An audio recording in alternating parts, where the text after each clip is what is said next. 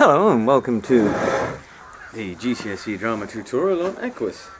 Um, in a break from tradition, I'm outside because it's sunny and pleasant and I'm drinking a large mug of tea whilst talking to you.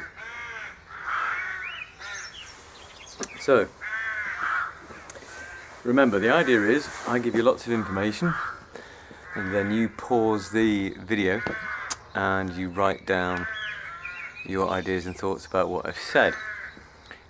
You don't have to stick to exactly what I'm structuring and laying out for you, you can go your own way if you want to, but it is important that you do pause and write stuff down as we go along, otherwise you'll spend 20-30 minutes watching this video and it won't make any sense to you. Um, I've got some notes here to talk about, which I'll have to find, um, and such like.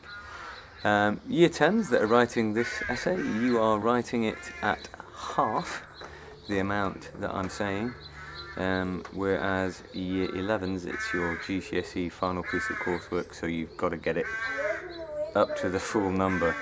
I don't doubt that my daughters will bug me while I'm doing this in various ways. Right, uh, notes. Okay, so very good. Um, introduction. Uh, the introduction should be about 50 words. Um, I'll say that again. The introduction should be about 50 words, no more. Um, you don't really get any marks for it. Um, so it is just about setting the, the scene.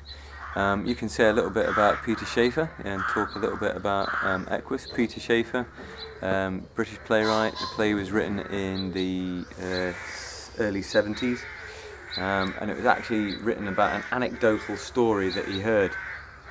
And what that means is the actual story um, was told to him by a friend about the blinding of six horses. Um, now, he was not able to find out any more about it, uh, but the idea sat in his head, and he started thinking about why someone would do such a thing, and that's where the whole story went. Um, if you want to do a little bit of research, um, you can spend like maybe five, ten minutes doing it now.